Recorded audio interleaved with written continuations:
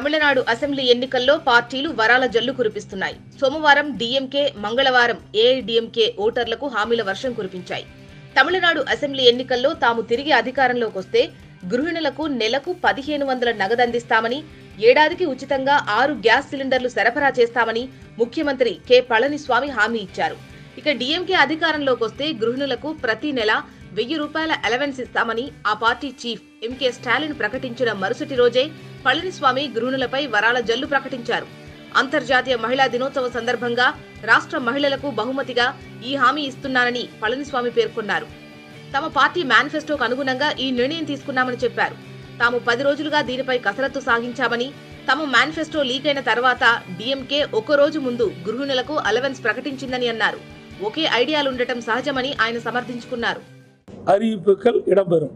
அதில் உலக மகளிர் தினத்தை ஒட்டி இன்றைய தினம் மகளுடைய நலனுக்காக குடும்பத்திற்கு ஆண்டொன்றுக்கு ஆறு சமையல் எரிவாயு கேஸ் சிலிண்டர் விலையில்லாமல் வழங்கப்படும்.